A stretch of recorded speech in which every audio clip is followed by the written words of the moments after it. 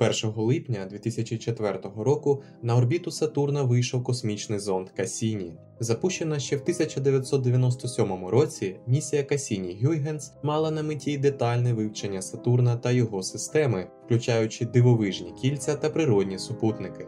Місія повинна була пролити світло на багато нерозгаданих таємниць системи Сатурна, наприклад, визначити походження кілець планети та знайти ще невідкриті природні супутники газового гіганта. Також дізнатись, чи є океани на найбільшому супутнику Титані і які хімічні реакції відбуваються у його атмосфері. Для цього навіть на поверхню Титана був спущений зон Гюйгенс.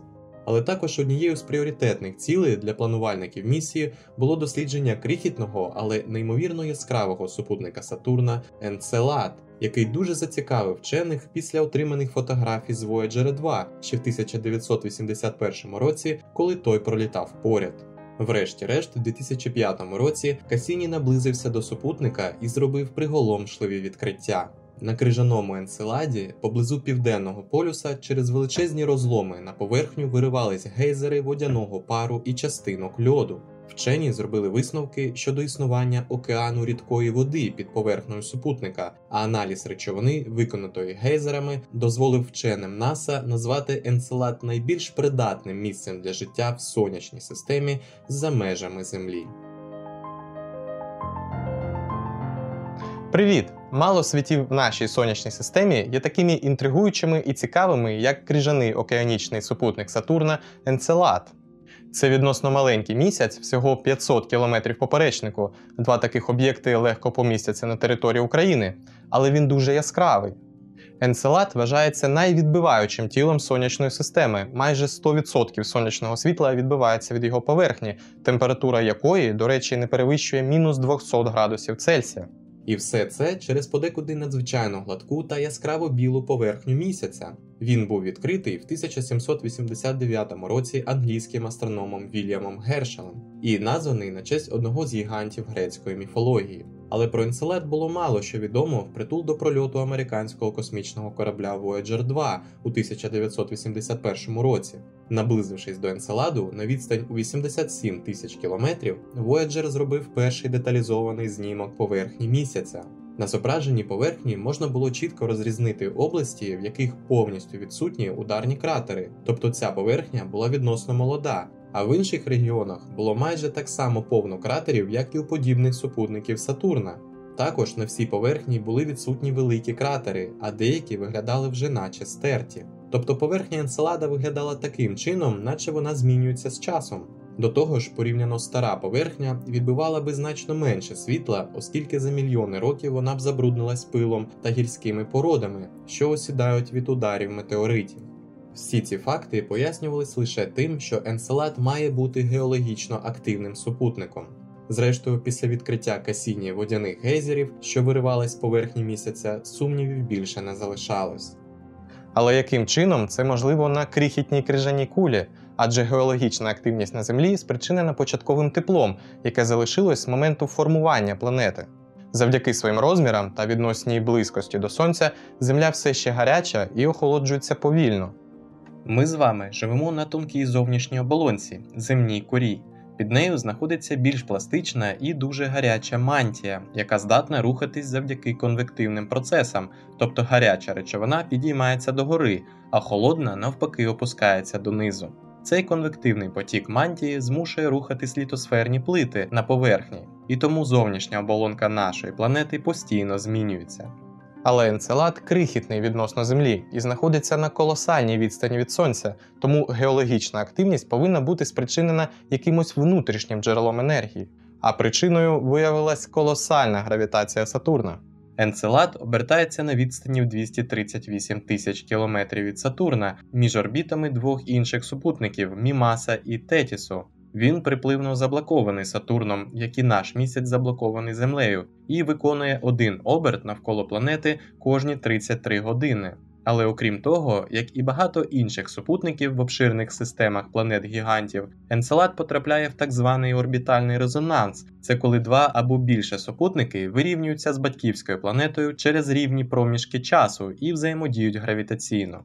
Енцелад обертається навколо Сатурна двічі кожного разу, коли Діона, вдвічі більший місяць, виконує один оберт. Гравітація Діони розтягує орбіту Енцелада в еліптичну форму, тому Енцелад періодично знаходиться то ближче, то далі від Сатурна, викликаючи припливне нагрівання всередині місяця. Тобто, фактично, при наближенні до Сатурна колосальна гравітація планети буквально розтягує Енцелад, а при віддаленні від планети супутник знову стискається. Такі постійні деформації викликають тертя і відповідно нагрівають супутник зсередини. Отже, Енцелад активний місяць. Детальні фото південної полярної області Енцелада, отримані Касіні, виявили територію, яка майже повністю позбавлена ударних кратерів, натомість вкриту тектонічними розломами та хребтами. Поблизу центру цієї місцевості знаходяться чотири величезні розломи, неофіційно названі тигровими смугами. Вони є відносно теплими, і саме вони є джерелом водяних струменів, що вириваються з поверхні місяця. На цих детальних інфрачервоних знімках добре видно тигрові смуги. Червонуваті ділянки вказують на свіжий лід, який осідав на поверхні місяця. Касіні виявив, що крижані частинки води та газу вириваються з поверхні місяця зі швидкістю приблизно 400 метрів на секунду. Виверження здаються безперервними, утворюючи величезний ореол тонкого крижаного пилу навколо енцелада. Більша частина матеріалу знову повертається на поверхню місяця, наче сніг. Власне, це і допомагає супутнику зберігати свій яскраво білий колір. Але частина матеріалу все-таки потрапляє в космос і утворює найширше і зовнішнє кільце Сатурна, так зване кільце І. До речі, походження кільця І було також однією з загадок Сатурна, адже математичні моделі показували, що кільце І нестабільне, і воно не могло довго існувати без постійного поповнення речовиною. У 80-х роках вчені підозрювали, що енцелад якось пов'язаний з кільцем, адже крихітний місяць обертається навколо його центру. А 2005 році, під час перших двох близьких прольотів, Касіні підтвердив енцелад як основне джерело кільця І, виявивши значне збільшення кількості частинок льоду поблизу енцелада. Трошки пізніше, зробивши це фото, Касіні зміг візуально зафіксувати, як струмені частинок піднімаються з південного полюса Енцеладу та живлять кільце І. До 2010 року вважалось, що океан, який живить гейзери на Енцеладі, був обмежений лише південним полюсом. Та за допомогою вимірювань сили тяжіння на основі ефекту Доплера та величини дуже незначного коливання місяця, коли він обертається навколо Сатурна, вчені визначили, що вся крижана кірка відділена від кам'янистого ядра, а отже, струмені постачаються всесвітнім океаном всередині місяця. Вчені вважають, що крижана оболонка Енцеладу на південному полюсі може бути тонкою до 10 кілометрів а середня глобальна товщина льоду становить від 20 до 25 кілометрів. Вдалося обчислити і глибину океану, і вона виявилась чималою від 26 до 31 кілометра. Для порівняння океан Землі має середню глибину майже 4 кілометри. Оскільки океан на Енцеладі постачає струмені, а струмені утворюють кільце І, то фактично вивчення матеріалу з кільця І означає вивчення океану Енцеладу. Протягом років Касіні неодноразово пролітав поруч з супутником, і вчені були шоковані, коли зі зразків водяних струменів місяця та кільця І вони знайшли три рядки доказів існування активних гідротермальних отворів на дні глобального океану Енцеладу. Адже такі отвори створюють ідеальні умови для розвитку мікробів та навіть більш складних організмів. Подекуди на землі вода океану може просочуватись глибоко в морське дно, де підземний шар нагрівається магмою. Гідротермальні вентиляційні отвори це місця, де ця гаряча, багата мінералами вода вивергається морським дном назад в океан. Така вода настільки густа частинками та розчиненими мінералами, що виглядає як дим. Саме тому отвори, схожі на димохід, називають чорними курцями, а їх братів білими курцями. Чорні курці, як правило, гарячіші з температурою приблизно 350 градусів Цельсія. Їх дим чорний, оскільки багатий сульфідами заліза та інших металів, а білі курці менш гарячі, приблизно від 40 до 90 градусів Цельсія, і їх дим біліший, тому що багатий мінералами, що складаються із кальцію та магнію. І основною їх особливістю є те, що тут на Землі обидва типи гідротермальних отворів мають бурхливі екосистеми. Справа в тому, що незважаючи на те, що навколо гідротермальних отворів на землі дуже темно, адже сонячне світло не досягає такої глибини в океані, там вдосталь теплової енергії і багато речовин, якими харчуються бактерії та інші мікроорганізми. Зрештою, тут виявлений повноцінний біогеоценез величезних колоній архебактерій та інших більш складних організмів, таких як ракоподібні, черви та молюски. Більшість тварин вступають з бактеріями в симбіоз, постачаючи їм сірководень та вуглекислий газ, а бактерії, в свою чергу, живлять господаря синтезованими цукрами. Таким чином, в таких місцях бурлить життя, абсолютно незалежно від решти світу. І уявіть собі, що означало для вчених знайти докази існування активних гідротермальних отворів в океані поза межами Землі.